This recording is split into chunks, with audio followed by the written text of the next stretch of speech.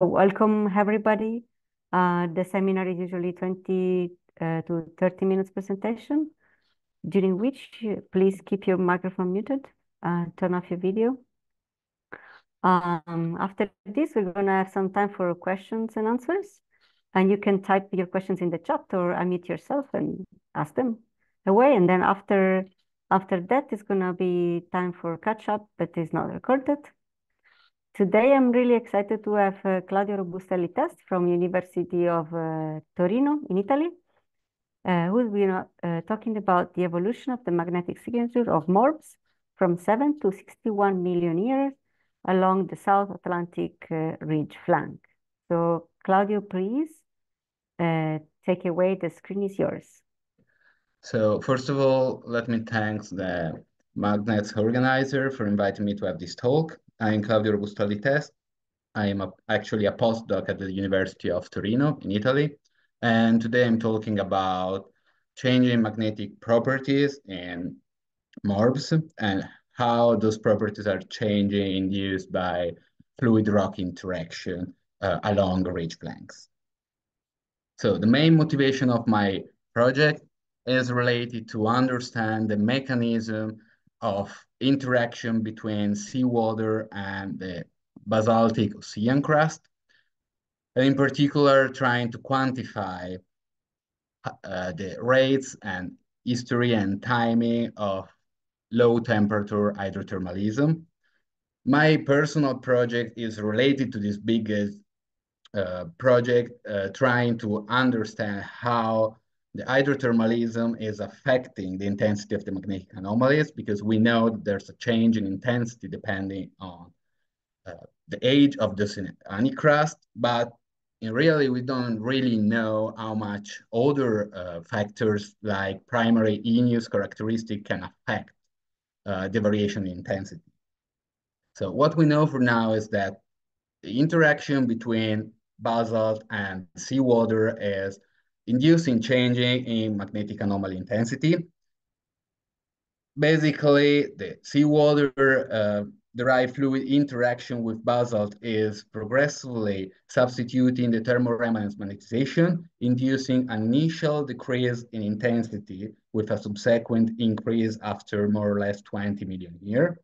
And the process that is invoked to uh, explain this variability as the maghemitization, so the progressive oxidation of titanomagnetite to titanomaghemite. But the crust itself is not homogeneous, so we have heterogeneities within the upper oceanic crust. So how does those heterogeneities change the magnetic properties and uh, also how much they influence the intensity of the hydrothermal alteration?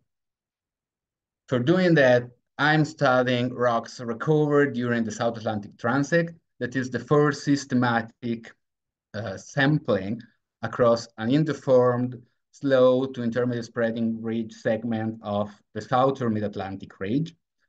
We, we drilled and recovered basalt from six sites. The youngest, the site U5059 here, uh, that have more or less 6.6 million year moving through the oldest that is on the western side, close to Rio Grande Rise, that have more or less 61.2 million here. And what we recovered was different basalt that preserve both uh, primary texture, but also significant different style of alteration. Uh, if we look, if we start to look at the magnetic properties, and in particular the intensity of the NRM, we can see that our data plotted with the uh, previous result from the, the DSDP uh, sites are practically matching. And if we see here in the histograms, the distribution of the intensity, we can clearly see an initial de decrease with a variability of the mean value, but with older age, there's a widespread uh, value for the intensity. So there's similarities. This is a very nice um, case study to try to understand the variability, but there's still a lot of heterogeneities. Those variability are also reflected by the Koenigsberg ratio, we can see in the first youngest side, the side U5059, that the Koenigsberg ratio is significantly high and then decrease with age in the other side. But at the oldest one, this, the one of 61.2 million here, the Koenigsberg ratio is increasing again. So there's a trend that is reflected in the Koenigsberg ratio, but what are the factors that can influence this variability in magnetic intensity? So possibility, of course, is variation in grain size and concentration of magnetic mineral. And here I plot a couple of rock magnetic uh, proxy of both grain size and concentration. If we look at the proxy of concentration versus age, we can see that for uh, the susceptibility of the anisotropic remanence, the value are more or less similar. So we have no a significant change in concentration of low coercivity mineral. But the SIRM is progressively decreasing, suggesting a possible increasing concentration of high coercivity minerals. If we look at the grain size of the low coercivity mineral, here we can see a trend similar to the one uh, presented by the NRM with an initial decrement in the mean value and then progressive increase. But those variability are not really strong. And if we look at the coercivity of remanence, there's just a slightly decrease in the first more or less 15 million years, and then the value are more or less constant. So the average of the different mineralogy is more or less uh, um, flat. So are those small variabilities enough for explaining this trend in intensity of the magnetic anomalies, or we have to consider other possible process that can affect it. So we can start having a look at how the properties change depending on the emplacement style. Because in the fresh material, uh, the basalt that we recovered are mostly sparsely to moderately phyric morbs with different phenocrysts of plagioclase and olivine. But the most interesting things is that we observe completely different style of emplacement from very long sequence of pillow lava and short sequence of sheet flow and also massive flow. Uh, if you look at this plot that is basically showing you the intensity of the remanence magnetization uh, coupled with the intensity of the magnetic susceptibility in the different side from the youngest close to the ridge flank here on the right to the oldest close to the Rio Grande rise on the left. We can observe that there are several spikes in both NRM and magnetic susceptibility that are basically reflecting the differences in emplacement style. In fact, if we look at a box plot, we can clearly see that the NRM is on average lower as intensity in the pillow lava and significantly higher in the massive flow. While the susceptibility have, have also a more uh, visible spike in mag magnetic susceptibility. So there's a significant difference in magnetic properties depending on the emplacements. If we look in details here, we can clearly see that on the ARM versus susceptibility, we can observe that the grain size is changing depending on the emplacement style with pillow lava and sheet flow having similar grain size that is significantly finer than the massive flow, which is mostly apparently coursing. And these variabilities also reflect by the coercivity of remanence, while the SIRM is also showing difference in concentration of magnetic minerals. So the bulk magnetic properties is showing a strong uh, variation depending on the emplacement style. So is an evidence that the magnetic properties of the crust is not homogeneous and it's not strongly depend only on the age, but also of other heterogeneities. And these variabilities also reflect in the Koenigsberg ratio, because we can clearly see that for the massive flow that are the orange dots here, the Koenigsberg ratio is on average significantly lower. So there's the emplacement style is affecting the intensity of the magnetic anomalies or not. So what is other factor that can affect? For example, the alteration. So as I mentioned already, we sample both fresh and altered basalt. Uh, we have a strong variety of alteration from just moderate background alteration with slightly substitution of the primary texture or absent to complete replacement of texture and mineral with the more advanced alteration. So if we look at the precious material that have maximum a gray background alteration, the primary feature are preserved. There's no degradation of the texture. And there's very slight replacement of the phenocryst. With increasing alteration, there's another type of background alteration that is the orange speckled background in which there's basically an additional substitution of the olivine phenocryst by clay mineral and iron oxide hydroxide. And this uh, substitution and this variability in the background alteration is reflected by the Königsberg ratio with, on average, lower value for the orange speckled background. So also the alteration in the most fresh material is affected. If we look at the most intense alteration, we can observe here three different type of uh, alteration halo, the less altered at the top to the more uh, intense alteration at the bottom. And we have a progressive substitution of the primary igneous texture, which is partially preserved in the dark gray halo, the less intense alteration, to completely lost in the orange halo when the alteration is really intense. For the rest, we have a progressive substitution of the phenocryst by clay mineral and iron oxide hydroxide with changing color of the clay mineral, potentially to the different formation of other iron oxide hydroxide or the amount of iron oxide oxide inside. And if we look at the Königsberg ratio, this is not strongly changing for the first two type of halo, uh, for the halo in general, but there's only a slight increase in intensity for the brown halo.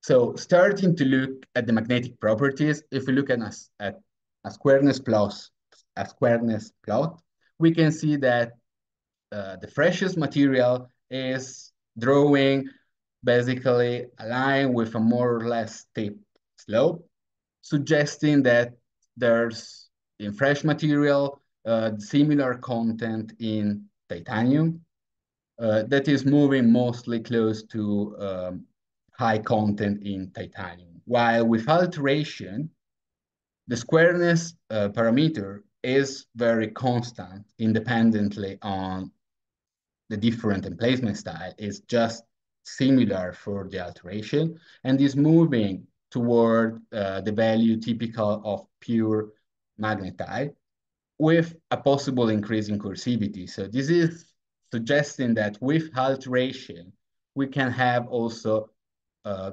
progressive oxidi oxidization of titanium magnetite into titanium adenite with similar value independent on the alteration. So what is changing with increasing alteration?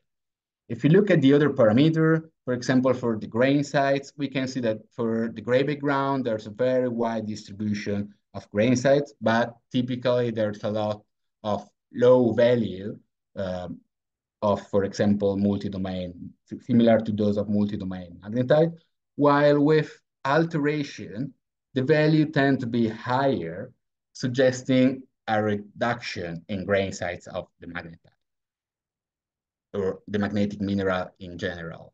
If you look at the coercivity of remanence, there's wider distribution of value in the freshest material, while moving toward uh, at the bottom to the most intense alteration, there's progressive uh, reduction of the BCR value, and then it's increased again with the orange halo, suggesting a different uh, assemblage of low and high coercivity mineral.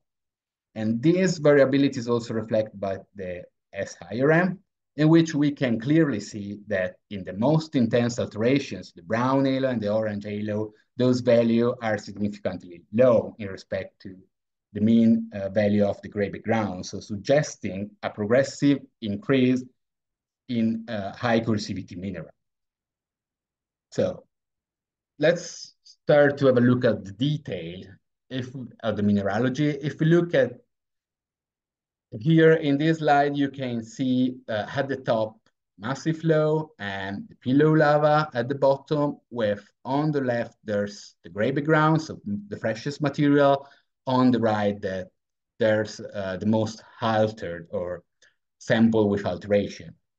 So what we can see for the massive flow, uh, for example, is that we have work typical of a mixture of multi-domain and PSD uh, magnetite grains, while in the freshest pillow, the behavior is completely different and is typical of SD magnetite grain. So also in the fresh material, depending on the emplacement style, there's significant difference in grain size. So let's see what happened with alteration. In the massive flow, there's a typical behavior of SD magnetite or finer grain uh, minerals. And similar behavior is also observable in the halter pillow with a slight increase in coercivity there that can be attributed to the progressive intensity, uh, the different intensity of magnetization or the production of small grain uh, hematite, example. If you look at the thermomagnetic susceptibility curves, we can clearly see that in the massive flow, we have a behavior typical of TM60, while in the pillow lava, we already observe curves typical of titanomagnetite. With alteration, the behavior is exactly the same with we can observe in both cases that we have curves typical of the presence of titanomaghemite. So there's a significant difference also in the fresh material here, even in terms of uh, type of magnetic mineral. So we can see more in detail low temperature experiment here in which all the curves show uh, a very smooth behavior with a suppressed Verwey transition. In most cases, there's a divergent behavior around 50 Kelvin, where it's more significant in the massive flow, supporting the possible presence, the presence of uh, multi-domain titanomagnetite, while in the pillow, this behavior can already be uh, associated with uh, the presence of titanomaghemite. Same behavior is observed for the halter material in the massive flow, while there's a completely different behavior in the orange halo of the pillow, in which we can see a strong divergence between the zero field cool and field cool curve that is typical of goethite. So this is supporting that with strong alteration, there's formation of iron oxide hydroxide. And he, here we can clearly see which kind of mineral are forming, like goethite. Other information that we, we can observe from the low temperature susceptibility is again the presence of multi-domain titanomagnetite in the massive flow with variation in field and frequency around 300 Kelvin and also frequency dependence and variation close to the Verwey transition. But if we look at the fresh pillow and the halter material, there's no significant variation in frequency and field, or at least they are suppressed by the paramagnetic behavior that is clearly visible here, suggesting that there's strong variation in the alteration intensity and kind, in, depending on uh, the type of emplacement. So if we have a massive flow or a pillow.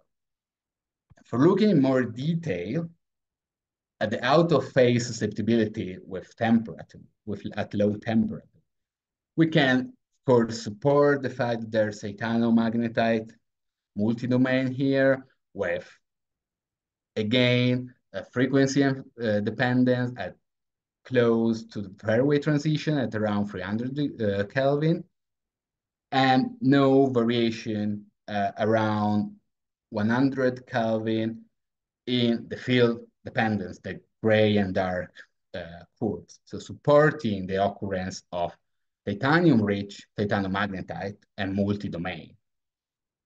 But if we observe with alteration here, we can still see some frequency dependence, but at low temperature, but a flat, more or less flat behavior and constant value uh, increasing the temperature that is typical of uh, magnetite with less content titanium close to pure magnetite. So an additional variation rather than just uh, oxidation of magnetite, changing in grain size, is also changing in titanium content in the magnetic mineral that are forming. So trying to summarize all of those results, what we observe across the South Atlantic transect is that the crust is strongly heterogeneous and the magnetic properties of, are following those variability. In fact, yes, the maghemitization process is really important and is strong, but there's also other factors that can affect. In fact, we observe that in fresh material, there's already change in grain size between massive flow and pillow lava, and there's changes in grain size with alteration, but also change in titanium content and the uh, mineralogical assemblages with an increasing concentration of high porosity mineral like goethite. And as we can see here, there's change in the NRM intensity depending on those two factors. But with the emplacement style, we can see that there's a more wide variation in value in the massive flow with typical more intense mean. With while in the pillow lava, there's less intense value.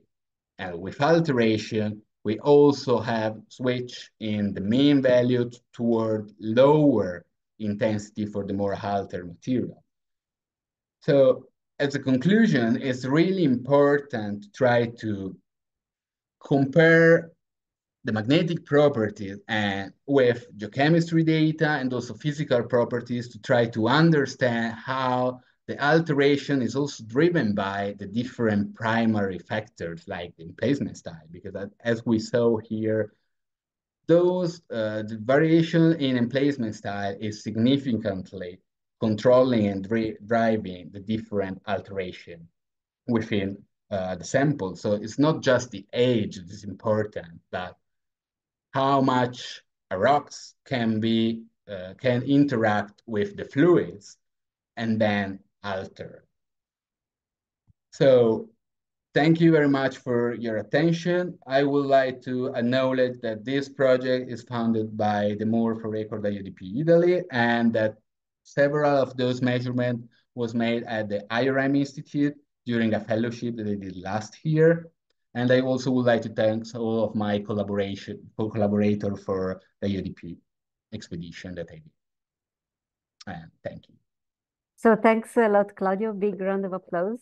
Uh, very interesting presentation. Mm, so now it's time for questions. So if anybody from the audience have some questions, uh, you can raise your hand or type it in the chat and I can read it out. Andrei. Uh, Hi, Andrei. Uh, uh, hi, Anita. Hi, Claudius. Thank you for that uh, great talk. Uh, well, uh, it's not, uh, it's rather not a question, but well, I'm just curious. why do you, why do you refer to Verwey? to, uh, to Verwey transition, uh, speaking of your low temperature data, I, I could not see any any of the any to be frank. Uh, to me, it's all titanium magnetite or titanium hemite, but no magnetite at all. Yes, I, I totally agree. Maybe I didn't explain me properly. I, I was just- just ju- pointing out and the, at the low. Are you talking about the the low temperatures as SIRM curves or the susceptibility curves? Because when I was talking about that, I was just referring at the frequency variation that is typical of titanium magnetite that is happening Yes. below the Verwey transition, but there's no transition there. Yeah, it's more uh, like there's- uh, yeah, yeah, you mean uh, you mean just the temperature range, uh, but Yeah. this is this is uh, obviously titanium magnetite and nothing else, and Yeah, and I totally agree. unfortunately you cannot uh, you cannot uh, uh, those high temperature curves are are all uh, they are, uh, you produce something here if you measure Oh, yeah, if you measure the if you measure this one uh, after after heat uh, after heating maybe you will see Verwey but uh, it's all produced uh, during heating obviously yeah but uh, thank you again. It's ve- uh, very interesting talk. And um, thank you. Thank you. Thank you. So why other people prepare the questions? We have one. Um, so do you know anything about the time scales and when exactly this alteration is happening? Yeah. Uh, so this is still a work in progress. And my postdoc exactly is it, it will work on that. Like my collaborators are working on dating the alteration minerals.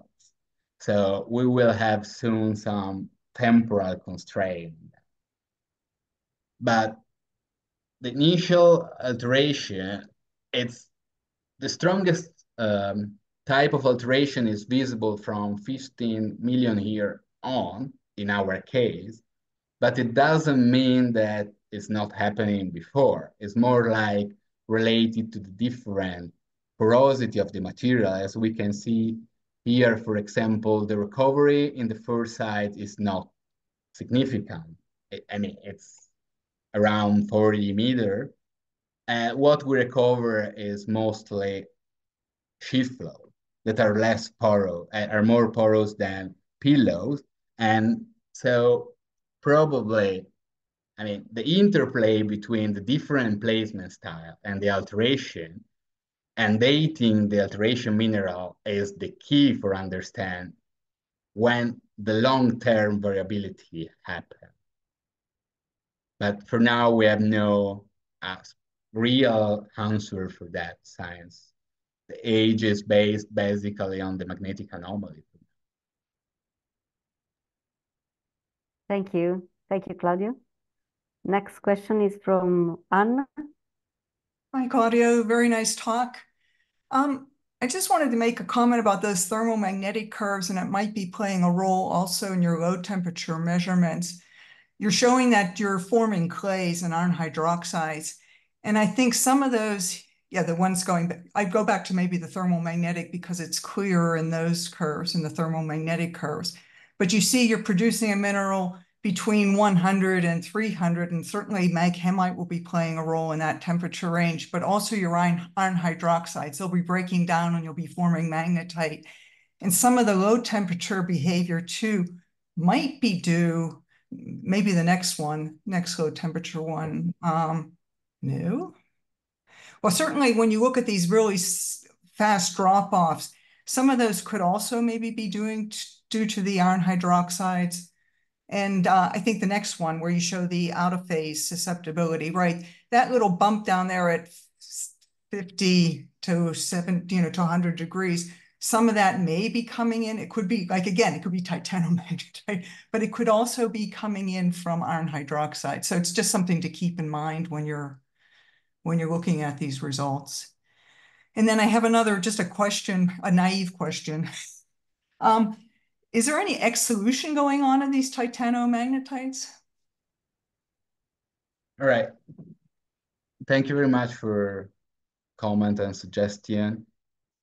Uh, really appreciate it. Uh, we know that the mineralogy is really complex, and of course, in the thermomagnetic curves, we have the formation of magnetite. We also run stepwise thermomagnetic curves to see when the alteration is happening, but it's not presented here and it's not ready yet for discussion. But we have, uh, coming back to your question, uh, we have no uh, SEM data on those sample yet. We're planning to do that in the next couple of months this year for sure to figure it out if there's a solution and this is if this is affecting the magnetic anomaly and eventually doing some magnetic microscopy scanning to confirm where's the magnetic mineral and how they are uh, affecting the intensity of the remnants there. Thank you. Thank you. Any other question from from the audience?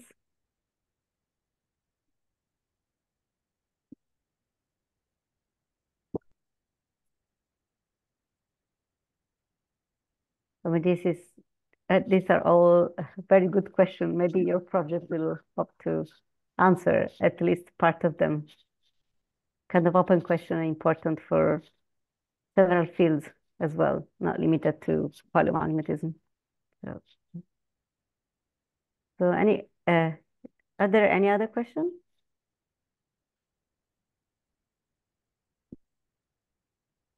I guess there are no other questions. So thanks again, uh, Claudio. Another big uh, round of applause. Thank you for giving this very interesting talk. Thank you. If you could please unshare. Yeah, thank you. So just uh, some uh, final communication. Uh, we have uh, speakers already until the 5th of June. Uh, we have some slots for June and August, and all of these uh, talk and the previous ones are available on YouTube. So please uh, join us there. And uh, thanks again, and see you next time.